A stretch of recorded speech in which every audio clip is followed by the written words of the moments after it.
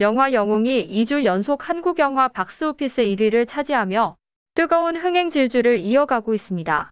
영웅은 1909년 10월 하얼빈에서 이토 히로부미를 사살한 뒤 일본 법정에 사형 판결을 받고 순국한 안중근 의사가 거사를 준비하던 때부터 죽음을 맞이하던 순간까지 잊을 수 없는 마지막 1년을 그린 영화입니다.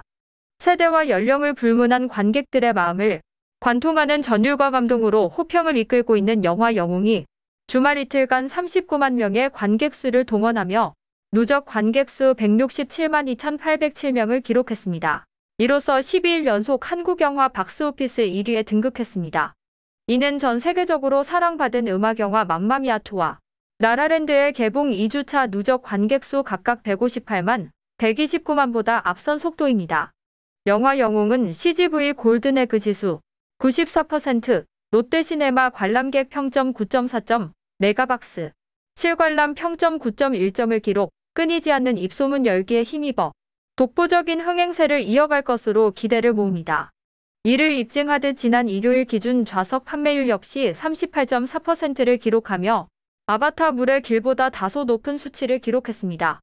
이와 같은 뜨거운 성원에 힘입어 영웅은 새해 첫 주말인 1월 7일 부산과 1월 8일 대구 무대 인사를 통해 관객들과 직접 만나 흥행 열기를 이어갈 예정입니다. 내일 TV 뉴스였습니다.